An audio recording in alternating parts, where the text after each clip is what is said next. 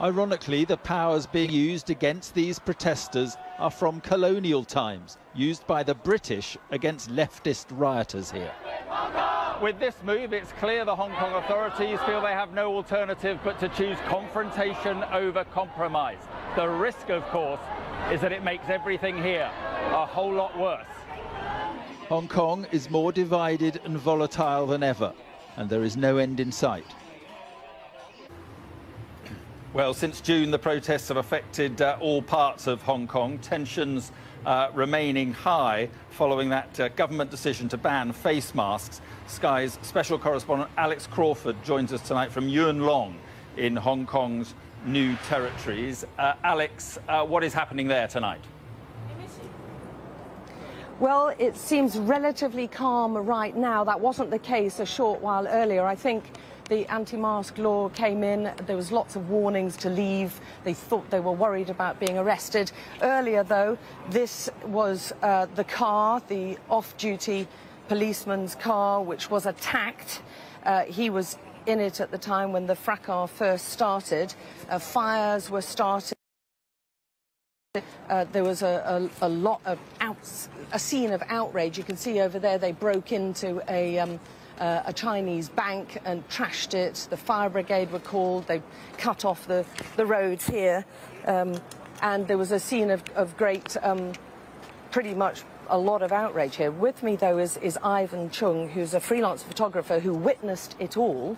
Ivan, tell us what happened. Perhaps talk us through what happened. You were, you were here at the time when, um, when uh, it, all, it all kicked off. Tell me what happened. Uh, at the beginning, I saw this car was surrounded by protesters. Mm-hmm. And then at the beginning, there was, it was a normal chat. And then, and then the man is getting anxious. And then more and more protesters would gather around his car. His car. Mm-hmm. And then he came out and then put, put his hand at this position. And then hold, hold, and then watch around what happened. And, people people felt he had he was going to reach for a gun. Yeah, I guess so. So suddenly a protester rushed to him and then and then like grab grab his neck, yeah, grab his neck, and then more and more protesters rushed to him, and then he was pushed down on the ground. Yeah, and then when he was on the ground, and then suddenly a huge sound of gunshot. The shot went out. Yeah, and then I saw one man like getting shot by by the by, police, by, the, by, by that police. And then Did ran. you actually see the policeman firing the gun, or you're not sure who shot it, who fired it off? I saw what, it, what the police shoot the gun. Shoot, right. Shoot, yeah. Mm-hmm. And then? And then a anger so, broke and then, out. And then right? a gasoline, gasoline bomb was thrown on the police. Mm-hmm. And then I saw his hand was injured. Mm-hmm. And then he run to, to that to, to that position. Mm-hmm. And then and then he's dropped drop his gun. He dropped because his gun. because he yeah. can't hold it because of his hand injury. And then the, that gun was thrown on the on on the on, on the mm. near on the other place. Mm-hmm. And then he take able to take the gun and then like walk to this side, mm-hmm. to that way. Mm-hmm. Then, Where he called for help. yeah, he was, he was, on his phone. Mm-hmm. Another and police picked him up. No, no.